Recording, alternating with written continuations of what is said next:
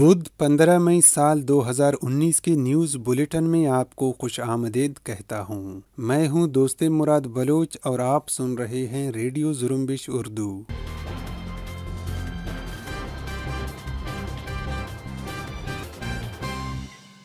ہماری آج کی نشریات بلوچستان سمیت علاقائی اور عالمی خبروں پر مشتمل ہوں گے، لیکن سب سے پہلے چھبیس دسمبر دو ہزار اٹھارہ سے متحدہ عرب امارات سے لاپتہ بلوچ سیاسی کارکن راشد حسین کے حوالے سے ریڈیو زرمبش پر راشد حسین کی والدہ کا ایک خصوصی پیغام پیش خدمت ہے۔ آئیے سنتے ہیں۔ گزشتہ سال چھبیس دسمبر کو متحدہ عرب امارات سے جبری طور پر لاپتہ کیے گئے بلوچ نوجوان راشد حسین کی والدہ نے ایک آڈیو پیغام میں اماراتی حکام سے اپیل کی ہے کہ انسانی ہمدردی کی بنیاد پر ان کے بیٹے کو رہا کیا جائے۔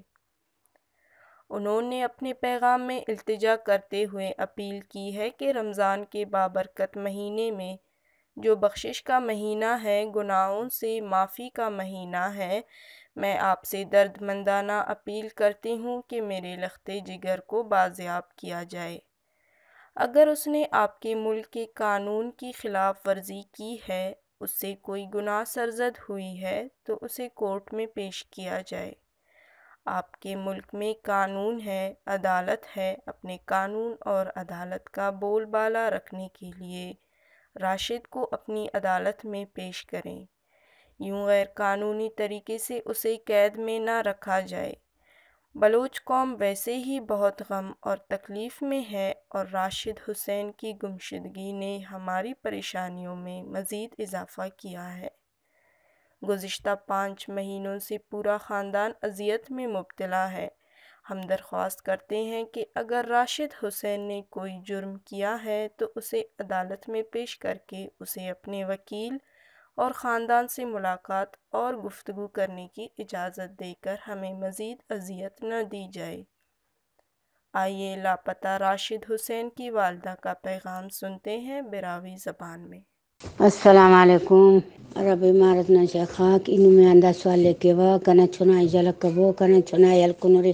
بے وارنٹان بے سے گناغان بے سے کے سنتورے نورے تا اینو میں سوال کے وی کتا جلک کبو تا دا تو سے بابرکتو دا رمضان شریف نہ تو ٹی دا گناہ تا معافی نہ تو سے دا ظلم نہ تو سفاق دا ٹی اللہ پاک تینا حق کے معاف کے دا ٹی دا لک ہر با ملنگا اللہ پاک دوز خانہ آزاد کے جنت راہی کے داٹی جیلی تی ریا کے رو داٹی ہر انت معاف فیر راشد جان معاف کبو حل کنورے تو درے نورے دا پنچ تو نائے نئے نہ نہیں تستا خاننا نئے جندے تا خاننا نئے جیل سے آتا رے تو نئے کیسس فش ظاہر کے رے ثابت کے رے یا تو بس دا سہانت کرے نورے دا سجل کبو تا اگی جرمس کرے نے تو جرمے تا ظاہر کبو نم مسلمان رے خدا نا نم دا کا مست بندہ خلق نورے تورے نورے نمے جیل سرے نمے قانون رے بے قانون کارم کپبو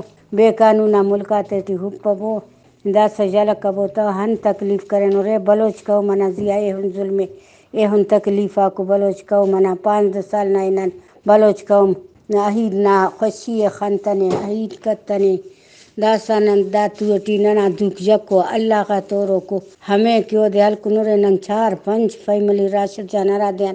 گرفتار مسنے چار پنچ فیملی نن چونک بالم دا پیدا مرو کا چوناتے کا کھل ننا دکھ، اللہ کا تورو کو جی اللہ نی ہاتھ تا جی اللہ نی ہمار درینو تا نوستاتے تی کرام شامون۔ ہاتر ارتدا سا ہنت کرے نورے معاف کبو ننے ننا۔ او دا ہن تکلیف اس کرے نورے نمیا معاف۔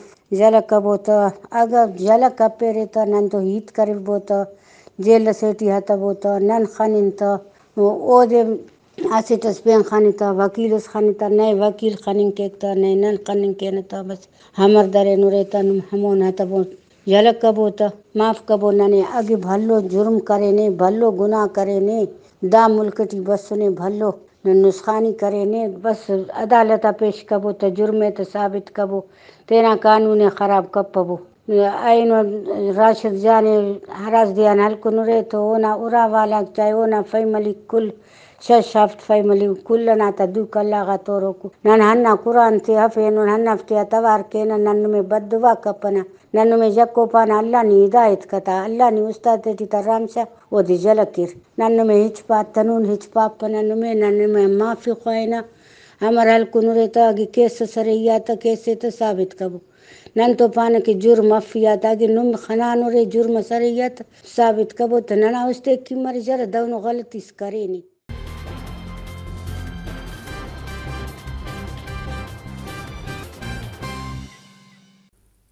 یہ تھا راشد حسین کی والدہ کا خصوصی پیغام اور اب آج کی خبروں کی سرخیاں۔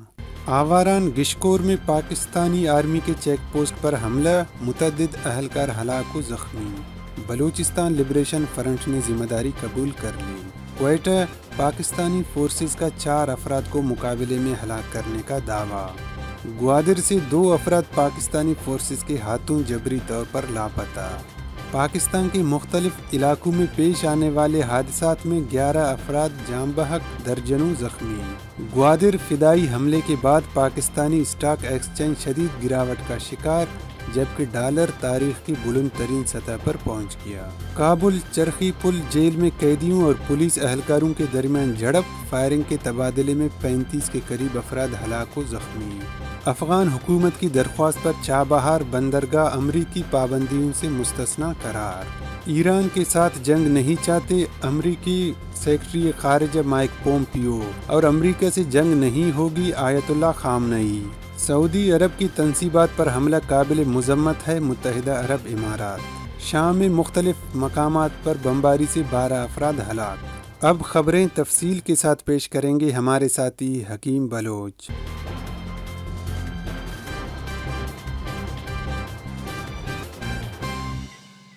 آوران کے علاقہ گشکور میں پاکستانی آرمی کی چیک پوسٹ پر مسلح افراد نے حملہ کیا ہے۔ اطلاعات کے مطابق، رات گئے گشکور کا علاقہ فائرنگ و دھماکوں سے گونج اٹھا ہے، جہاں گشکور ڈل بازار آرمی چیک پوسٹ پر مسلح افراد نے رات گئے حملہ کیا ہے، جس میں پاکستانی فورسز کو بھاری نقصان کا سامنا کرنا پڑا ہے۔ دوسری طرف بلوچستان لبریشن فرنٹ کے ترجمان گہرام بلوچ نے گشکور آرمی چیک پوسٹ پر حملے کی ذمہ داری قبول کرتے ہوئے کہا ہے کہ منگل کی شام آٹھ بجے سرمچاروں نے ابران کے علاقے گشکور میں ہور ڈل بازار میں قائم آرمی چیک پوسٹ پر راکٹوں اور بھاری ہتھیاروں سے حملہ کیا۔ حملے میں قابض فوج کے دو اہلکار ہلاک اور دو زخمی ہوئے ہیں۔ کوئٹہ میں پاکستانی فورسز نے دعویٰ کیا ہے کہ مشرقی بائی پاس میں بوسا منڈی کے قریب خفیہ اداروں اور سیکیورٹی فورسز نے ایک مشترکہ کارروائی میں چار افراد کو مار دیا ہے۔ بیان میں دعویٰ کیا گیا ہے کہ چاروں افراد فائرنگ کے تبادلے کے بعد ہی مارے گئے ہیں اور چاروں افراد کا تعلق کلادم تنظیم سے تھا، تاہم قتل ہونے والے افراد کی شناخت تاحال ظاہر نہیں کی ہے۔ واضح رہے، بلوچستان میں اکثر اوقات پاکستانی فورسز پر حملوں کے بعد جوابی کارروائی کے طور پر پہلے سے قید بلوچ سیاسی کارکنوں کو جیلوں سے نکال کر جعلی مقابلے میں ان کو قتل کر کے انہیں دہشت گرد قرار دیتے ہیں۔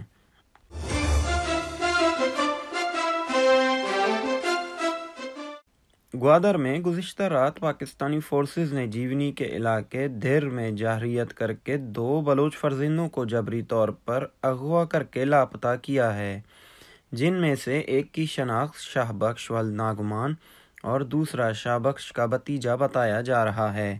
واضح رہے سوموار کے روز بھی گوادر سے تین بلوچ نوجوانوں کو ریاستی فورسز نے لاپتہ کیا تھا۔ بیلا اور خزدار کے درمیانی علاقے اورناچ کے قریب تین مسافر گاڑیوں میں تصادم کے نتیجے میں پانچ افراد جاں بحق اور متعدد افراد زخمی ہو گئے ہیں۔ حادثے میں علاق اور زخمیوں میں خواتین اور بچے بھی شامل ہیں۔ دوسری طرف خزدار میں باغبانہ کے مقام پر پک اپ الٹنے سے بچوں اور خواتین سمیت دس افراد زخمی ہوئے ہیں۔ کوئٹہ میں مشرقی بائی پاس پر نامعلوم مسلح افراد نے ایک دکان پر فائرنگ کر کے ایک شخص کو قتل اور تین کو زخمی کر کے موقع واردات سے فرار ہو گئے ہیں۔ جاں بحق شخص کی شناخت، جانان جاں اور زخمی افراد کی شناخت، حافظ حمید اللہ، ولد عبدالحکیم، نجیب اللہ، ولد راز محمد اچکزئی اور زین اللہ، ولد محمد عیسیٰ کے نام سے ہوئے ہیں۔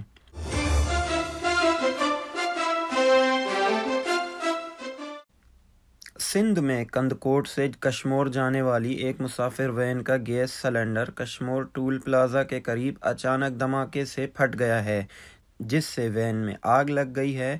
آگ لگنے سے چھ افراد جلس کر جاں بحق ہو گئے ہیں، جبکہ خواتین و بچوں سمیت سات افراد زخمی ہوئے ہیں۔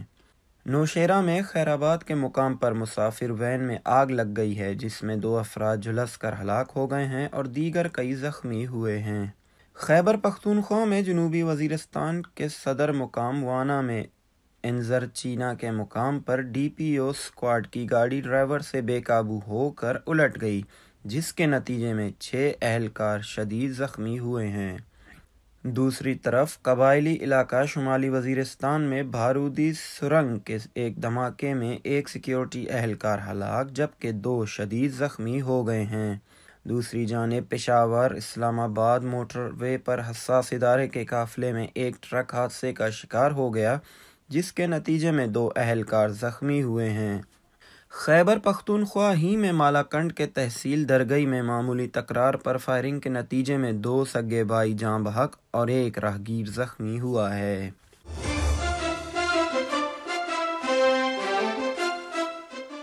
گوادر میں بلوچ فدائین کے حملے کے باعث پاکستان کا اسٹاک ایکسچینج میں چودہ سو پوائنٹ سے زائد کی کمی ہوئی ہے، جس باعث سرمایہ کاروں کے دو سو پینتالیس ارب روپے ڈوب گئے ہیں۔ گوادر حملے کے بعد پاکستان اسٹاک ایکسچینج میں کل چودہ سو چھ پوائنٹ کی کمی ریکارڈ کی گئی ہے، جس سے سو انڈیکس چار فیصد گھٹ کر چونتیس ہزار سات سو سولہ پوائنٹس کی سطح پر بند ہوا ہے۔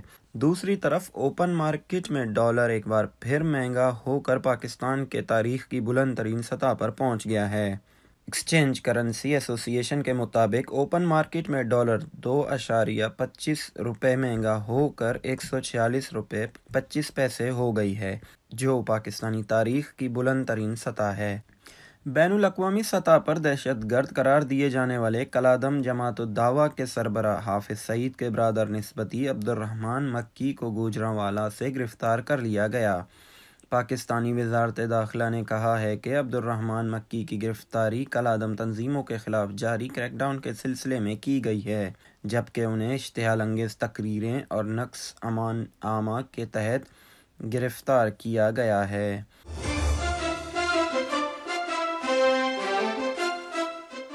امریکہ نے افغان حکومت کی درخواست پر ایران کے زیر قبضہ چابہار بندرگاہ کو پابندیوں سے مستثنا قرار دے دیا ہے۔ جنوبی اور وسطی ایشیا کے معاملات کے بیورو کے لیے امریکی principal deputy assistant secretary L S Wells نے کابل میں افغان وزیر داخلہ صلاح الدین ربانی کے ساتھ ملاقات میں کہا ہے کہ چابہار بندرگاہ کو امریکی پابندیوں سے مستثنا قرار دینے کی افغان حکومت کی درخواست کو منظور کر لیا گیا ہے۔ امریکی وزیر خارجہ مائک پمپیو نے ایران کے ساتھ بڑھتی ہوئی کشیدگی کے حوالے سے کہا ہے کہ امریکہ ایران کے ساتھ جنگ نہیں کرنا چاہتا ہے۔ دورہ روس کے دوران مائک پمپیو نے کہا ہے کہ امریکہ چاہتا ہے کہ ایران ایک نارمل ملک کی طرح برتاؤ کرے۔ تاہم اگر اس کے مفادات پر حملہ کیا گیا تو اس کا بھرپور جواب دے گا۔ دوسری طرف، ایران کے روحانی پیشوا آیت اللہ خامنائی نے بھی کہا ہے کہ امریکہ سے جنگ نہیں ہوگی، جبکہ ایرانی صدر حسن روحانی نے کہا ہے کہ اسلامی جمہوریہ ایران عظیم تر ہے اور اس کو کوئی ڈھرا دمکا نہیں سکتا۔ اور انشاءاللہ ہم اس مشکل دور کو بھی وقار سے گزار لیں گے۔ ہمارے سر فقر سے بلند ہوں گے اور دشمن کو شکست ہوگی۔ امریکہ کی ایران پر نئی پابندیوں کے بعد بھارت کی جانب سے ایرانی تیل کی خریداری ترک کرنے کے فیصلے پر بات چیت کے لیے ایران کے وزیر خارجہ جاوید ظریف نئی دلی پہنچ گئے ہیں۔ دلی میں بھارتی وزیر خارجہ سشما سوراج سے ملاقات سے قبل میڈیا سے گفتگو کرتے ہوئے جاوید ظریف کا کہنا تھا کہ بھارت ہمارا سب سے اہم معاشی، سیاسی اور علاقائی شراکت دار ہے۔ ان کا کہنا تھا کہ ہم بھارت سے مختلف امور پر مشاورت کرتے رہتے ہیں۔ اور میں اپنے ہم منصب سے خطے میں عالیہ پیش رفتوں اور باہمی تعلقات پر مشاورت کے لیے آیا ہوں۔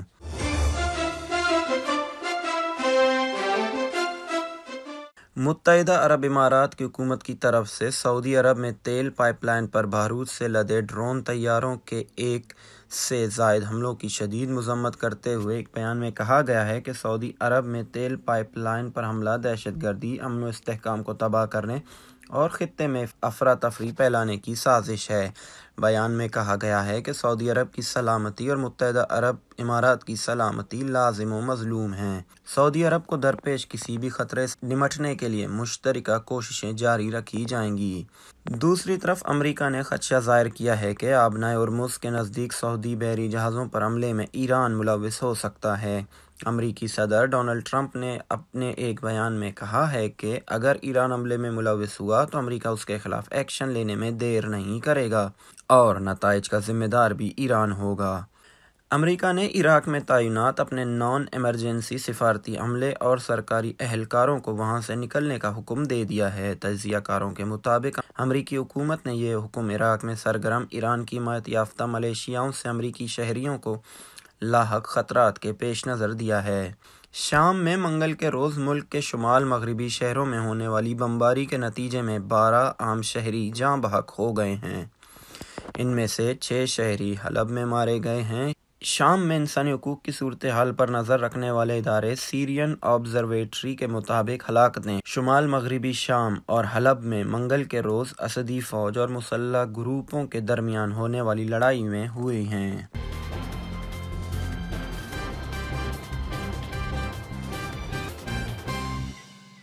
آج کی نشریات کا یہیں پر اختتام ہوتا ہے۔ کل تک کے لیے ہمیں اجازت دیجیے اگر آپ بلوچستان سے متعلق تازہ ترین خبریں پڑھنا چاہتے ہیں تو وزٹ کریں ہمارا ویب سائٹ۔ پتہ ہے W W dot Zrumbesh dot com اگر آپ ریڈیو زرمبش نیوز بلیٹن روزانہ کی بنیاد پر سننا چاہتے ہیں تو ہمارے یوٹیوب چینل کو سبسکرائب کریں۔